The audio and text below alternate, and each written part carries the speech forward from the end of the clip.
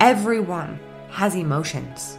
Processing emotions and allowing people to see what we think we should hide or conceal or stop or keep quiet, for me, is part of my mission. Because I want you to know that it's safe to feel your emotions because the only way out is through. You want to get to the other side of it, you got to feel it. You got to move through it. And I want that to be I want that to be normal. Welcome, Badass Manifester. I am so glad you are here. I'm your host and head coach, Ashley Gordon, master mindset and manifestation biz expert, founder of the quantum coaching certification, and multiple six figure entrepreneur obsessed with empowering you to create quantum leaps in your energy, your life, and your business. This is the show to help you make magic your everyday normal, where the ripple effect is real and the guest experts are world class. My mission is to power your conscious and subconscious mind with manifestation teachings, business tools, and coaching techniques to put your potential into action. Consider this your weekly up level. Are you ready for quantum transformation? Let's do this. Hello, badass manifester. Welcome back to another episode. And as I record this, it is Friday evening. It's about nine o'clock and I have the comfiest pajamas on right now with a delicious cup of berry zing tea. It is so good. And I don't have a script or a plan for today's podcast. I have one note written down on the notebook aside of me, and I'm going to share that with you in a moment. But this episode is really going to be just a stream of consciousness, sharing about what is going on with me internally and how to apply it to your life, how to take some of these lessons that I've been getting and the wisdom that I've been um, tuning into and sharing that with you to download into your consciousness, into your humanness, into your beingness. So, the plan today is no plan, it's stream of consciousness. I used to record episodes like this all the time, I haven't in a long time, and I'm excited to just flow with it as we go. Um, to kick it off, I'll just share with you what I have written down on the notebook. And the one sentence that I have written down is I love you right there. I love you right there. Right where you are. With what whatever you are, whatever you're going through, whatever you're dealing with, whatever your challenge is, I love you right there.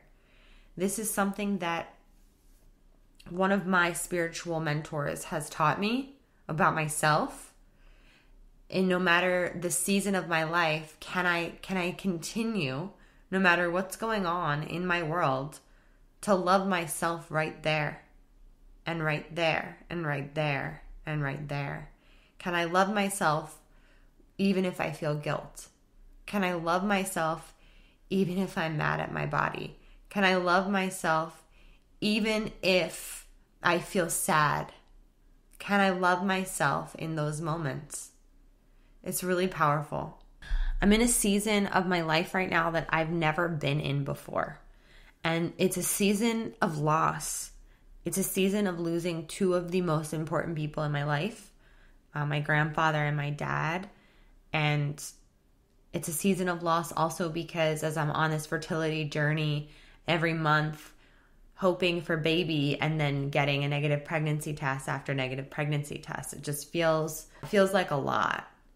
It feels like a wave that keeps hitting you and you can't fully catch your breath from it yet, but it like keeps hitting you. And it's not that I'm getting knocked down, it's just I'm just getting tired of swimming, right? Like it's like it's that feeling. And I don't say that to like be depressed. I'm not depressed at all. I'm grieving. I'm grieving a lot of different things and emotions and feelings and people and experiences. And I know I said I was going to do an episode on grieving. And I think that this is going to be weaved into what I shared tonight, today. um, and with that, I'll share like we all have seasons of our life that we move through And I know right now that I'm not the only one grieving. You might be grieving something or someone. And I want you to know that I love you right there. And I'm sending you so much love during this time. And I hope that you are giving yourself what you need when you need it. And I hope that this episode helps. For years in my life, I, I had rose colored glasses on. And I still have my rose colored glasses, right? But everything I saw was rainbows and butterflies, and death wasn't real, and I was never gonna lose anyone in my life, and nothing was gonna go bad or wrong. And I was spiritually bypassing a lot of emotions because I didn't fully understand how to process emotions. And it wasn't until the last like four or five years that I realized that our emotions are never meant to be suppressed, that we have all of them for a reason, and there's no bad emotions.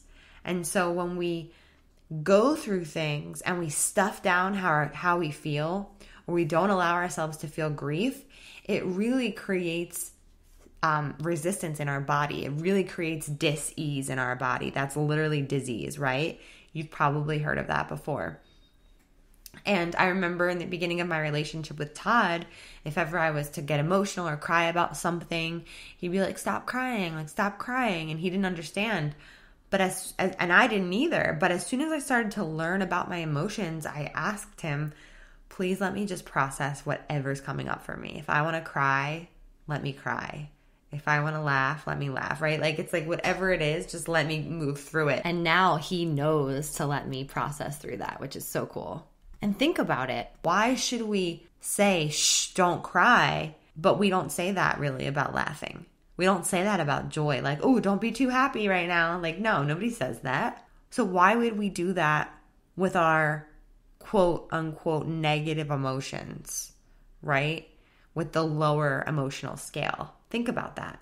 Emotion is energy in motion, and that energy needs to be moved out.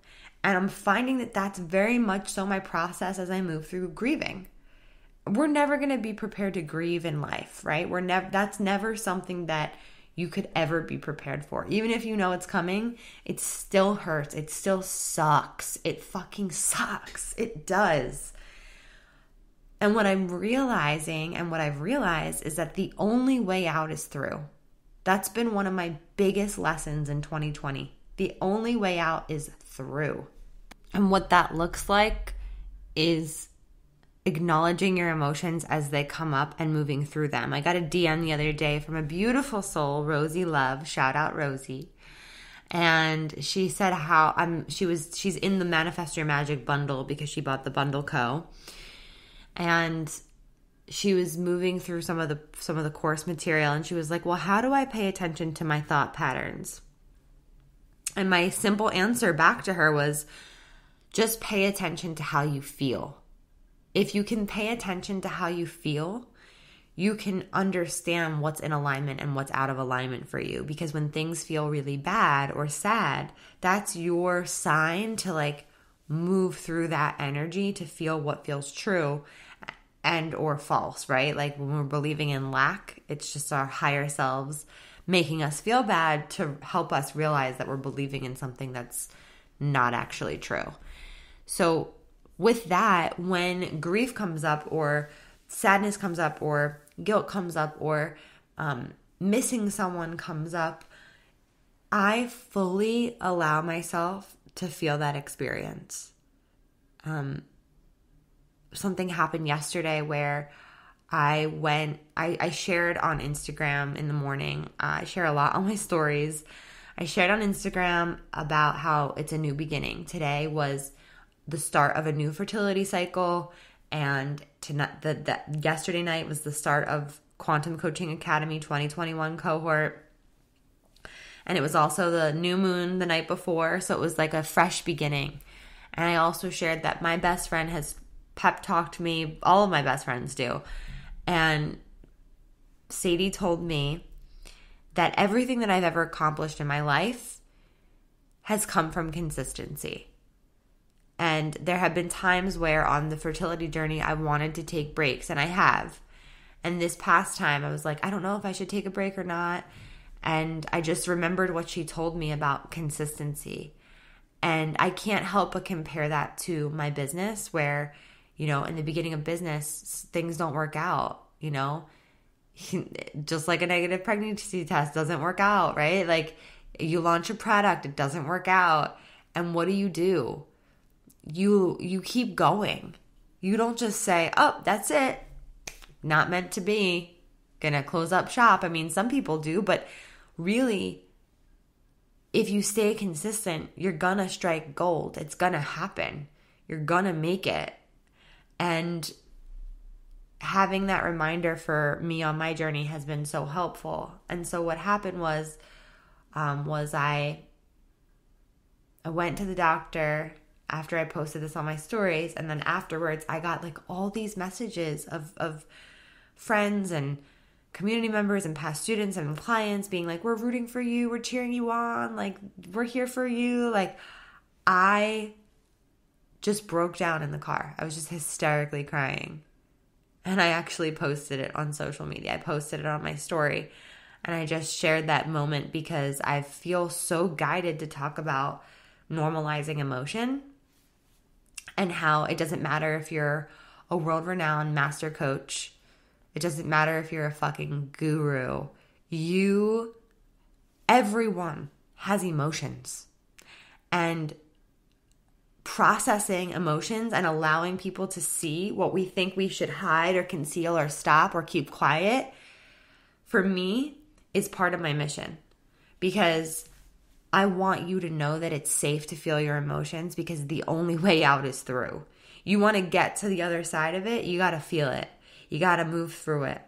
And I want that to be I want that to be normal.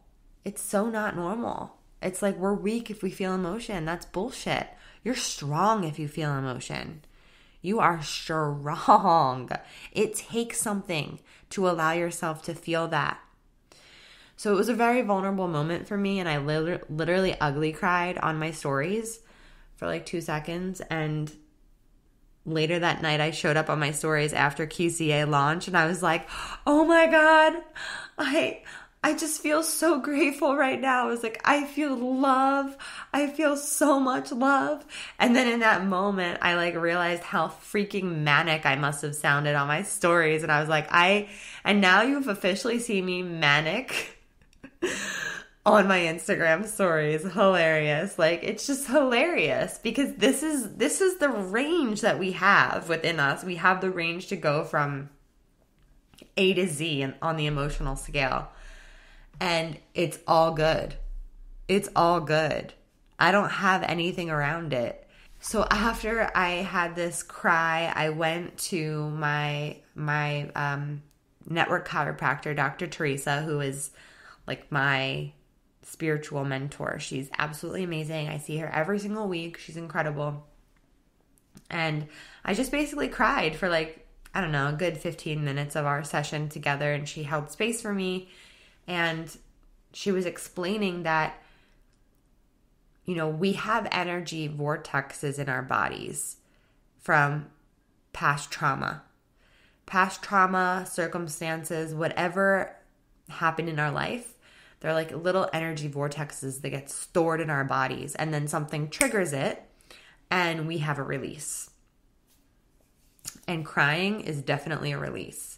And it feels so good if you let it. If you can stop making yourself wrong for it and just feel the experience of having a soul shower, it's unbelievable. It's so, so refreshing. And you don't even have to know why you're crying. That's something that I've realized too. So, with um with the energy vortexes and the trigger she was like something triggered you when you read those messages that people were rooting for you. She's like how did that make you feel? And i was like i don't even know. It just it made me feel like i'm supposed to root for others. Like i i feel weird having people root for me. Like i don't want to be that person. Like i don't i don't feel worthy of being that person. It was a, a whole lot came out of that. And she just let me understand that these energy vortexes, if we don't move them out of our bodies, they get stuck and stagnant. And that's what compounds and that's what creates resistance in the body and breaks down our bodies. And it was just such an aha moment for me. I already knew that, but it just showed up differently. And so I was like, people need to know this. This is so this is so good. It is so beautiful. And it really ties into the I love you right there, right? I can love myself right there in that moment of being triggered. I can love myself right there in the moment of feeling so vulnerable, putting myself out there. I can love myself right there, crying my eyes out in front of my mentor, right? So it's just like all comes together that way. And she told me a story once, and she has the best stories. And she told me a story about someone giving her a fig tree. And she was like, Someone gave me this fig tree, and it's such a beautiful fig tree. And I planted it. She loves her garden and plants and everything. She's just like, oh, she's like, oh, oh, she's just, I can't explain her. She's incredible. And so she's telling me about this fig tree and she's had it for years and she's moved it a couple times because it never grew any figs. So she thought maybe over here better sunlight or maybe over here more shade and she's she just couldn't figure out why after all these years she still could not get any figs. And so this last year she said she went up to the fig tree and she looked at the fig tree and she said, I love you, fig tree. I love you right there. And she asked herself, Am I going to be okay if this fig tree never produces figs? She was like, Yeah, I'm going to be okay. Cool. And guess what happened? That year, the fig tree made figs, grew some figs. What do you know? The fig tree grew figs because she accepted and loved it exactly as it was and she wasn't trying to force it to be anything other than it was and i just love that story so much because it's just like anything in life when we don't have the attachment to it we can allow it to just be as it is and we can love it right there love it right there love it right there and dr teresa taught me how to love myself right there and it's really beautiful the way that i've been processing grief is very much so I don't know, I wouldn't say textbook. I would say when I feel it, I feel it. And it's it comes in waves. And when the waves come, they come really fucking strong. And I have to allow myself to just cry and feel the feelings that I feel. And when I look at pictures and I go down that rabbit hole of looking at pictures, I, I get really, really upset. I get really sad. And then I'll be on a long FaceTime with my sister and just feel so grateful for our relationship that we have and the father that we shared together and just excited that I have her in my life and then I'll go to acupuncture and be floating away from my body and then see my dad in my third eye and be like oh my gosh, this is crazy, and just break out in tears. And it really does hit you at like the weirdest times. And then I had a week of just feeling completely numb and I couldn't cry. And I was like, what's wrong with me? I can't cry. And then I had to remind myself, I love you right there, even when I can't cry. And my inner voice is asking myself, Am I grieving right? Am I doing this grieving thing right? Am I doing it right? Am I doing a good job? I've never done this before all of those questions and then feeling guilty like I wish I had more time with my dad. I wish I spent more time with him. I wish I showed up more. I wish I called him more. And it's like all those feelings of guilt come up, right? And it's all normal. It's all part of it and I have to just let myself feel it. And I called one of my dear friends, one of my longest friends, my preschool best friend Molly, who lost her mom, who was my mom's best friend, Linda and she said, you know, we always wish that when we we always wish that we had more time with someone if we only knew they were going to die, right? Like it's like I was like, well, if I knew he was going to die, I would have been there more. And it's like it doesn't work like that. It doesn't work like that. It's like the lesson here and get this, please get this. Call your parents, call your people, call your family. You know, you get that nudge to call someone, you get that download but you're too busy or you're tired or you don't feel like talking or it's always worth it to make the call and I knew that my dad loved me so much and I know that he knew how much I loved him and I still wish that I had more time, you know? Always make time for the people in your life and ask them all the questions that you have. One of the biggest lessons is just there's nothing more important than family. And I realized that, like this summer specifically, I was very wrapped up in my own world. Business and I'm I'm out here with you guys and you know, I'm I'm doing my thing and there's nothing wrong with doing your thing. However, I needed to learn the lesson. For me personally, like my personal lesson is that business is not everything. Business is not everything. You can't get your time back. You cannot get your time back. So for me, like, you know, I haven't seen my mom in a bit. I'm going to go down to Florida and spend as much time down there as I can to see her and spend time with her because that to me is way more important than business. And I think I had to learn that as part of my journey to motherhood as well. There's a lot of lessons packed in here. And I want I want to share that with you because you might be in that place right now where your business is everything or whatever your work or career is everything and that's cool. And there's more. There's more to life. Um, not that I didn't know that before, but I got it on a much deeper level. Because, of course, I knew that, right? But I got it more on a cellular level. And I'm getting the message for myself that it's a lesson that I need to take with me into the future. It's not just for right now, it's forever. It's a forever lesson. It's a lesson that a lot of people don't learn actually in their life.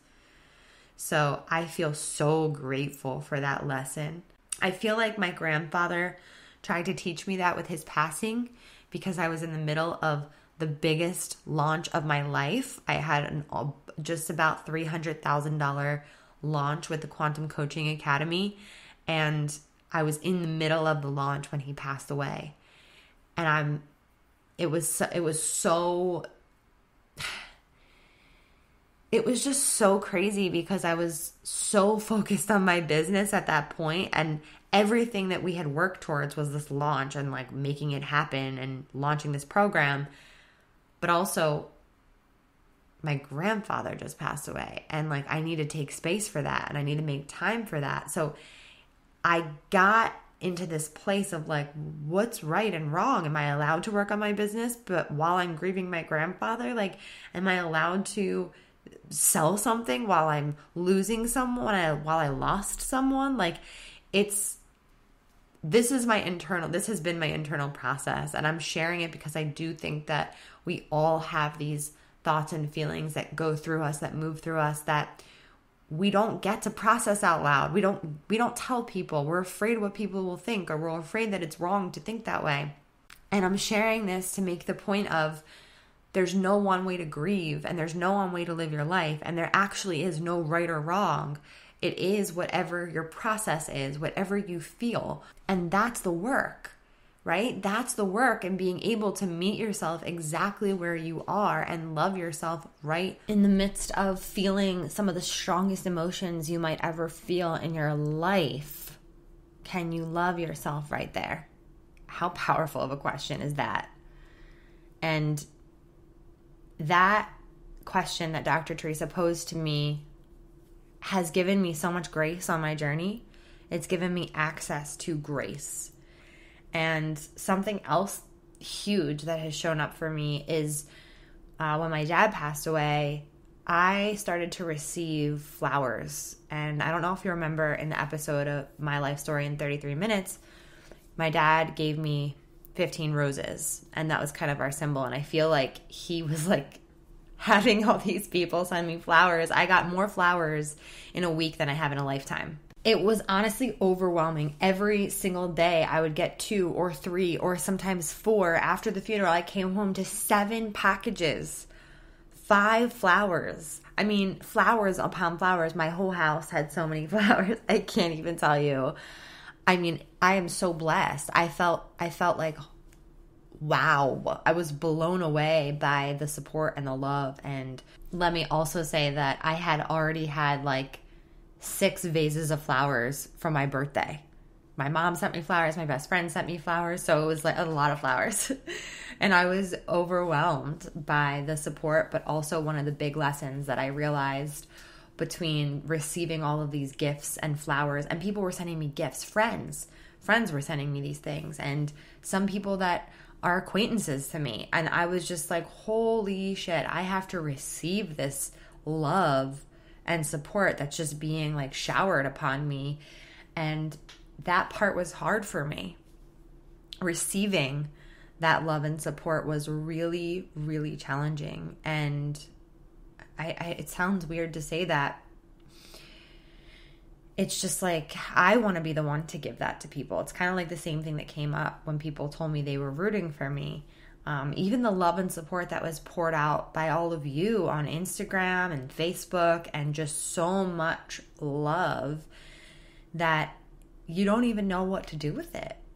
And so, my practice has been allowing myself to sit with those feelings of receiving, receiving the support, receiving the love knowing that I'm worthy of it. It's like I almost feel like I'm unworthy of receiving that. And I don't want anyone to go out of their way for me. And I I'm sure that's a little bit surprising to hear, but that's truly what came up for me and I'm grateful it did because it allowed me to sit with it and to process through it and the people in my life have been so incredible. My team has been so incredible. Um, so my birthday was the 28th. My dad passed on the 29th and I don't think I shared this with you guys but my um my second mom Bev she was my dad's wife and she told me that she told my dad on speakerphone even though he wasn't really able to like he wasn't conscious really that it was my birthday and that he should wait wait to pass not on my birthday. And he actually waited for me. He passed away on the 29th at 1:42 in the morning he actually waited for my birthday to be over. And I really believe in that. And I was like blown away by that. Um, and so the next day on the 29th, my podcast manager came over. And guess what he brought me? He brought me balloons that said 500K because our podcast hit 500,000 downloads. And it was like the most bittersweet feeling because it was just such a, a day of sadness. And also, that was very exciting. It was like a paradox. Um, and I was so grateful that he did that. He really brightened my day and he brought me a green juice and it was just like so sweet. Shout out Brett Gordon. Check him out on YouTube, you guys. Get Fit Done. Just a little little shout out there because he's he's incredible. He's absolutely incredible. Check him out. Get Fit Done. He's awesome. Um, and so where am I going with this?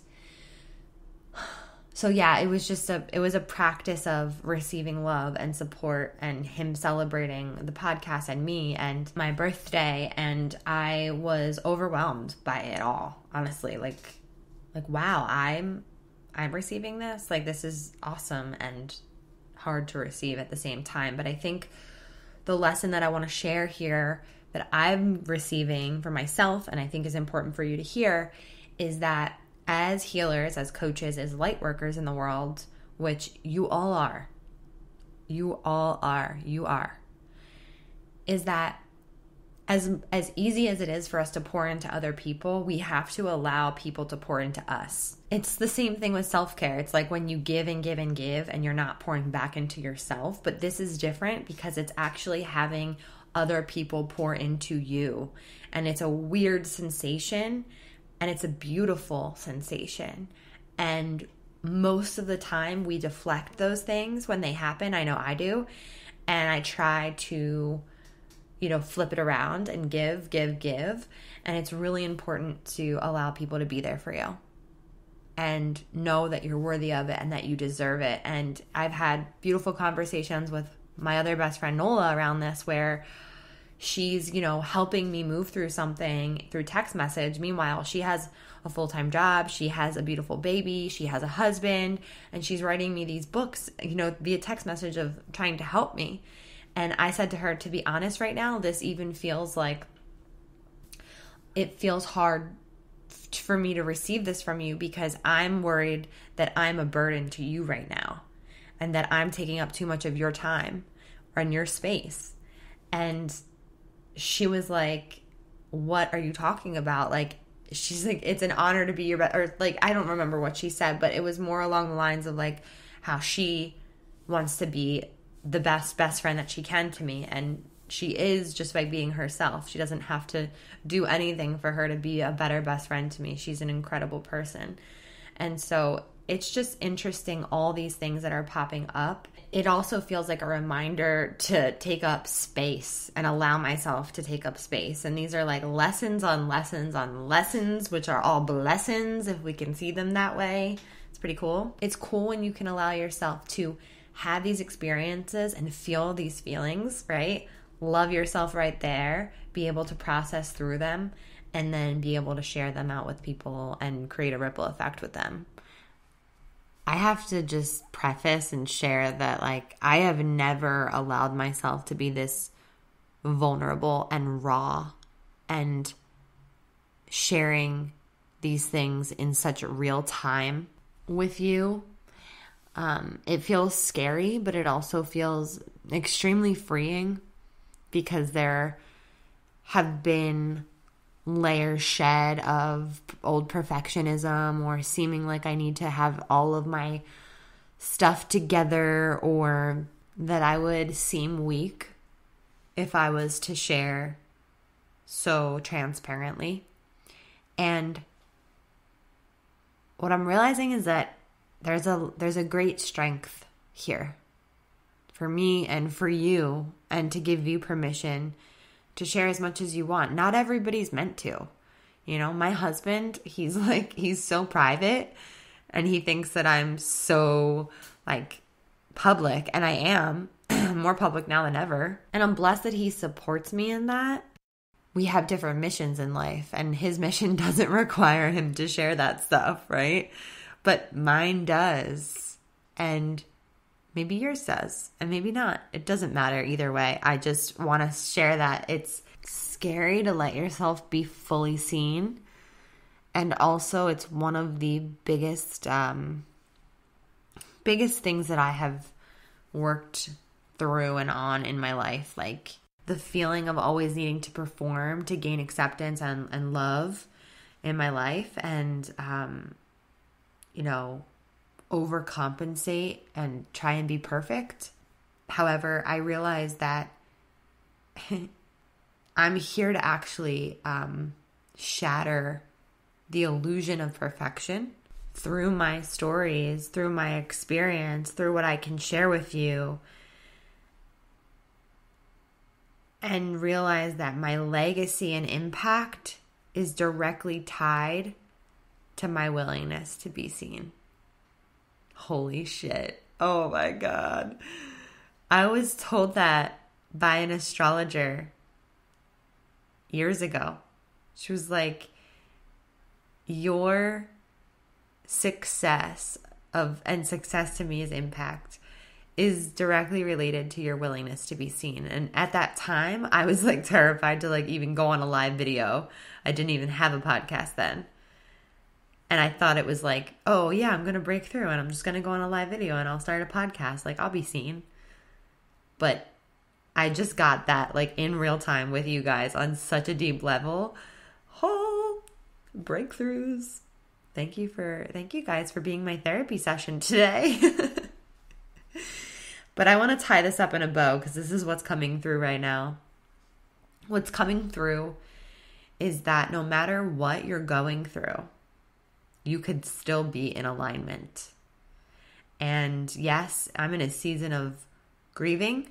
I'm in a season that I've never been in before and I've had every emotion you could you could imagine on the emotional scale. I've felt extreme emptiness, sadness, fear, anger, hurt, guilt. I've also felt joy and gratitude and abundance and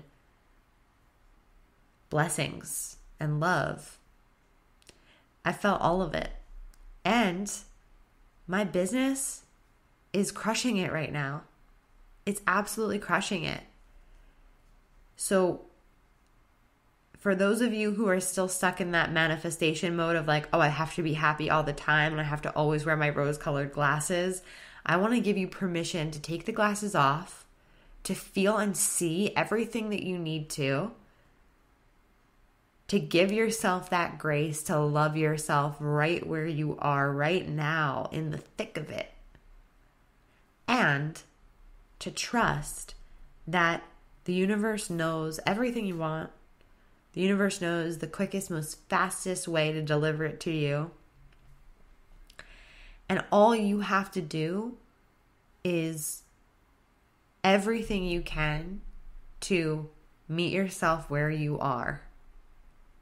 Because the quickest way to shift into a higher vibration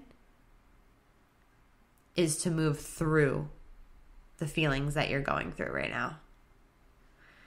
You can't bypass them. You can, but they'll catch up to you later. So feel them, heal them, feel to heal, feel to heal all day.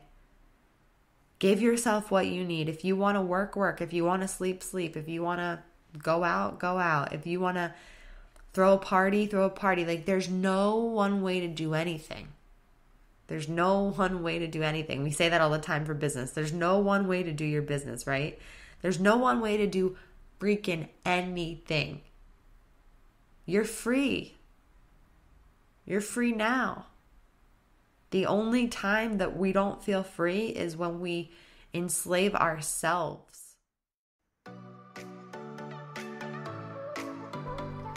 Woo! We did some work today. Thank you so much for listening. You know I love my BAM fam. If this episode resonated with you, please share it with someone who you know would love it too, because we live for the ripple effect over here.